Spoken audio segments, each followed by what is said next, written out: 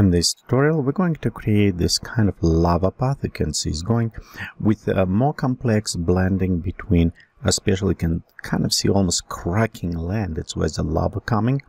Um, we could add lava afterwards, but we'll leave it for now. And also you can see um, some materials distribution and other things.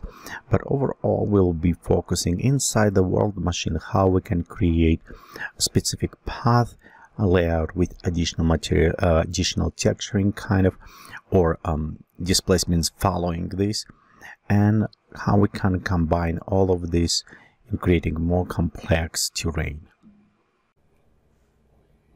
If you watch previous tutorials about some labyrinth and mount, we used some combinations. Very simple tutorial, but it's give it an interesting perspective that we can go and create more. So what about if we take some of those ideas of the labyrinth, enhance them and creating more as a lava path, you know, when lava go through terrain and kind of breaking ground. So let's see if we can do this. Um, one things will begin, and again, um, sometimes when I started, I start with one node, add another, play around, and mostly already done before tutorials. So whatever I'm doing right here, it's not necessarily way I'm starting, but it's help us flow and see how it's going. Okay, so we'll go start with uh, generator and when I um, will use it, so it will create for us some of those cracking in the ground if that will be basic. So we'll go ahead, open for edit, and as the scale, let's go take it scale down to maybe some 800 meters around there. Okay, and most important, we change style. So we'll go to F1 cell. You can see it's already look cracking and let's go to alternative 2 and we'll leave it everything as default. And right now if you just look on this this already look kind of cool. And just imagine we can use those ones as cracks between them. Okay so next is kind of I want to find uh, what between those lines. And um nice things about we have a special node that's select connector. So let's go ahead and connect this. And you can preview what we already have it. Look, it's kind of nice. It's given us all of those lines, connections with special additional information that we can go and reuse it. Okay, I'm going to open. And right here, we'll just leave a string and everything as default for now. So we'll process next. So next, what I want to do, it is some isolating to uh, remove some grayish, give it a little bit more contrast for me so I can reuse in the future and we'll go inside the filters. We'll go to use the clamp for this. And again, in some cases, you can do in not specifically, except with this way, give it you some flexibility that you may adjust in the future a little bit more as you're going along with this. And okay, we'll go open clamp and right there we'll go expand. Okay. And we'll go bring this part all the way up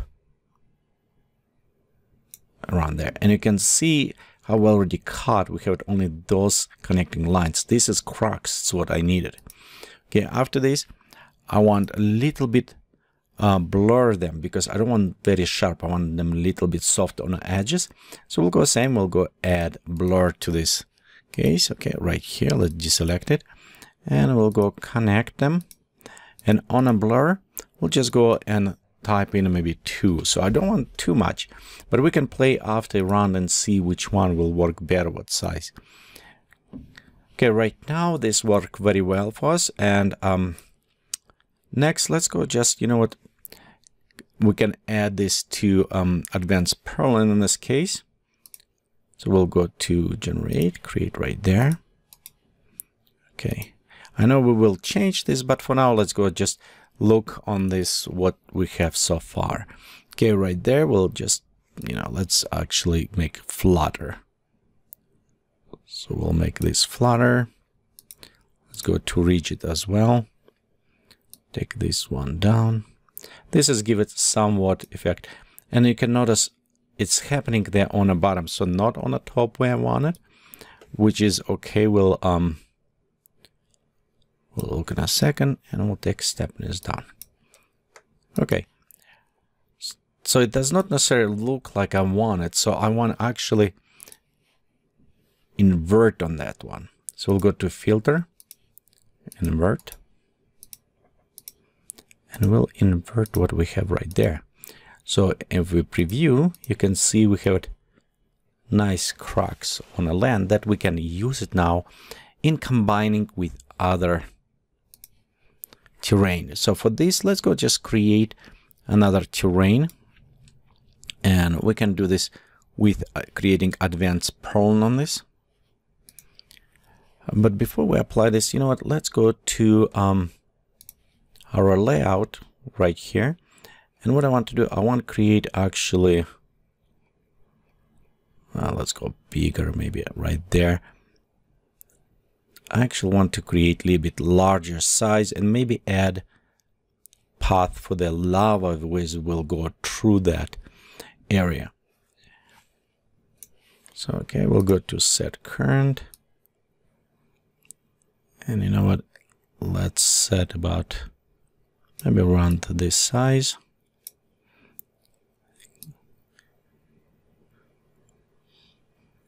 This one should be enough, big enough. Okay, next we'll go to um, create a new layout. Okay, so let's go click on new layout. And from this point, I'm just going have it line. I'm just going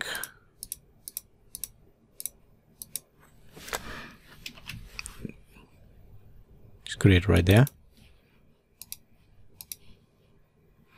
Okay, now when it's created, we can go and enable breakout. This, I think this is about right.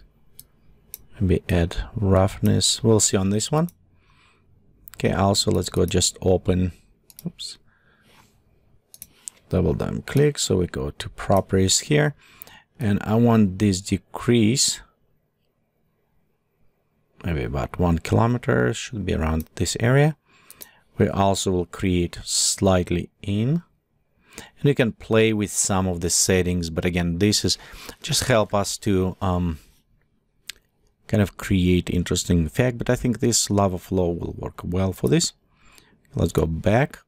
And so we'll use it this layout now to um, work with uh, our path. So let's create from this one. It's kind of going top so I want invert right here and add invert. So now we have a path for our things. So let's go ahead and next portion of the tutorials, we'll kind of start combining them to